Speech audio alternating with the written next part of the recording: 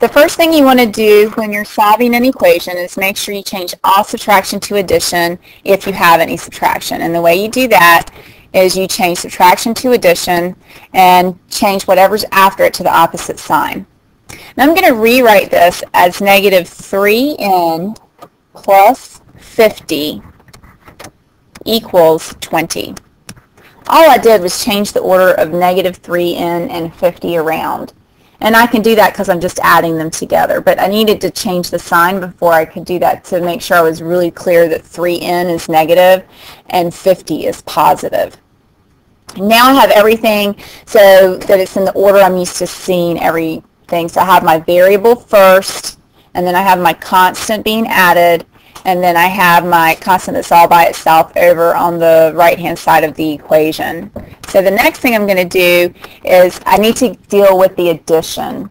So we always get rid of addition first before we get rid of multiplication or division.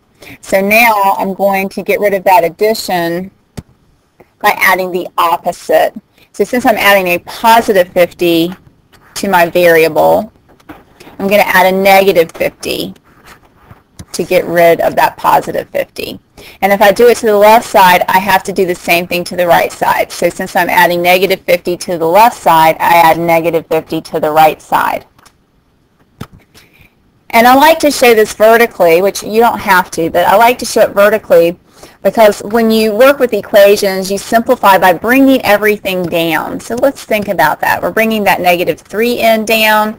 We're bringing the sum of 50 and negative 50 down. Um, we're bringing our addition symbol down, we're bringing our equal symbol down, and we're bringing the sum of 20 plus negative 50 down. All of that comes straight down.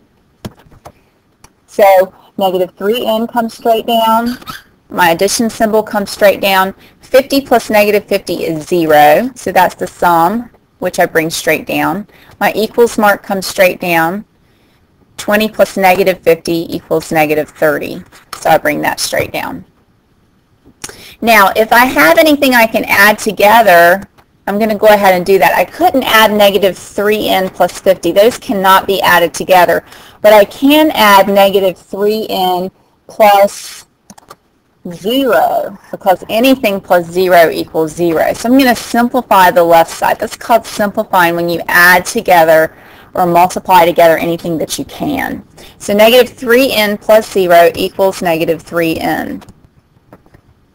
Again, we're bringing everything straight down. So we're bringing that sum of negative 3n plus 0 straight down.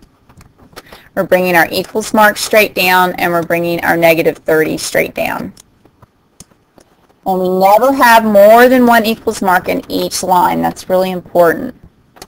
Now, since I have negative 3 times n, I'm going to use my inverse operation, which is division, to get rid of my negative 3 that's being multiplied. Or I can multiply by the reciprocal. You can do it either way, whichever way makes more sense to you. So, again, I'm going to simplify everything and bring it straight down. So negative 3 divided by negative 3 is positive 1. And we have our n. Bring your equals straight down. Negative 30 divided by negative 3 is positive 10. Again, we're going to simplify that left-hand side. We can multiply 1 times n, and then we're going to bring everything straight down. So 1 times n is n, and your equals straight down, and your 10 straight down. So n equals 10. And I want you to remember that you need to be using check steps, especially on quizzes and tests. So I'm going to check this real quick and make sure it's correct. So I'm going to substitute 10 in the place of n in my original equation. So 50 minus 3 times 10 should equal 20 if I have the correct answer.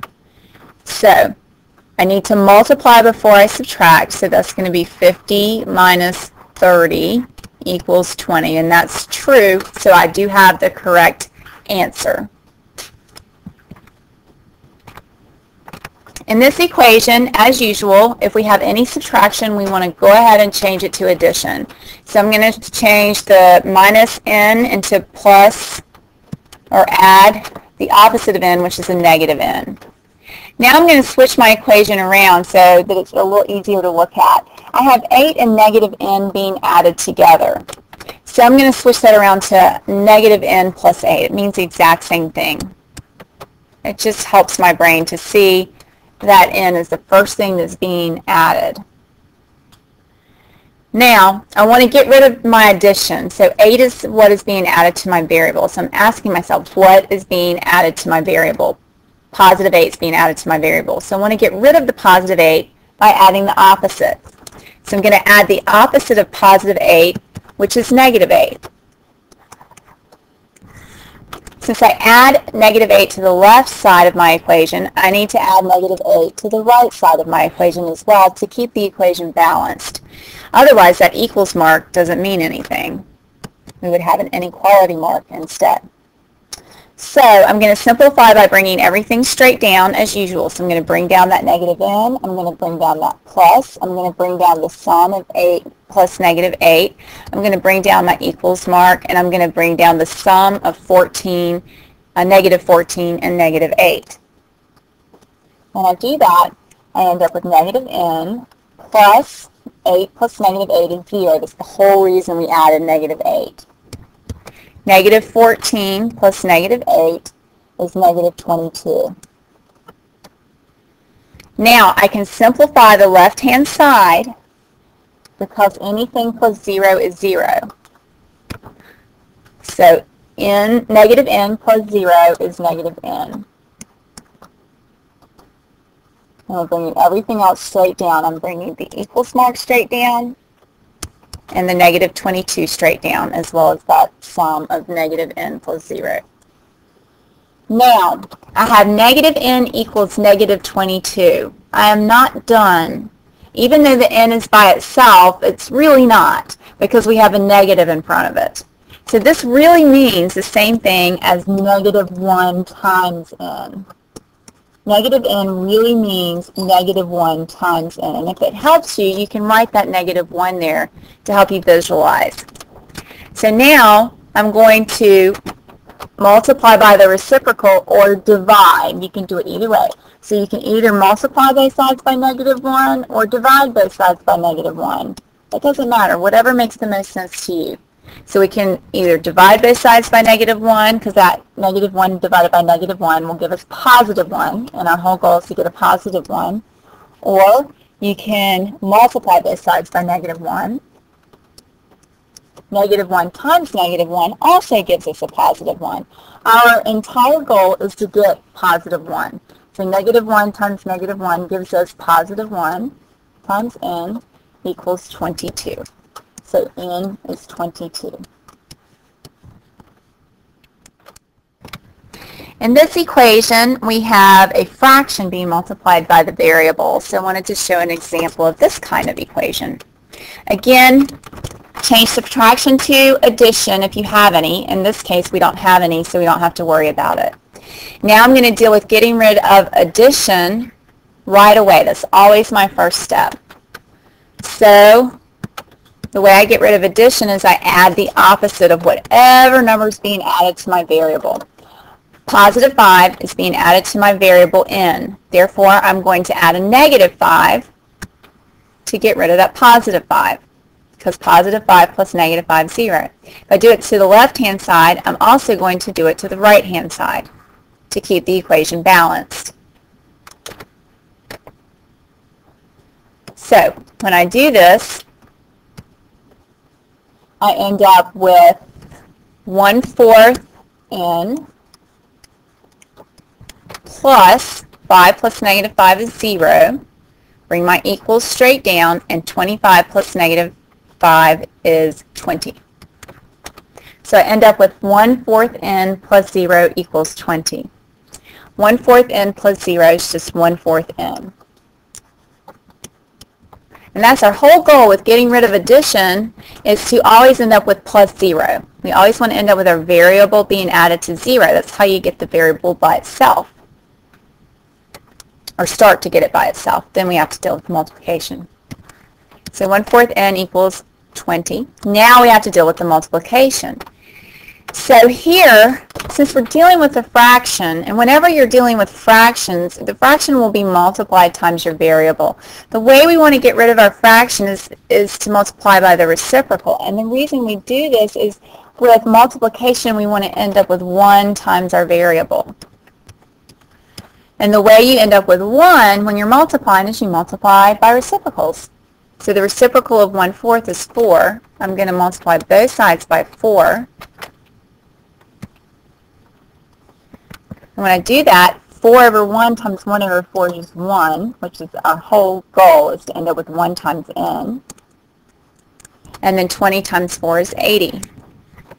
1 times n is n, so n equals 80. When I check this equation, the way I'm going to check it is by substituting 80 in the place of n. So I get 1 fourth times 80 plus 5 equals 25.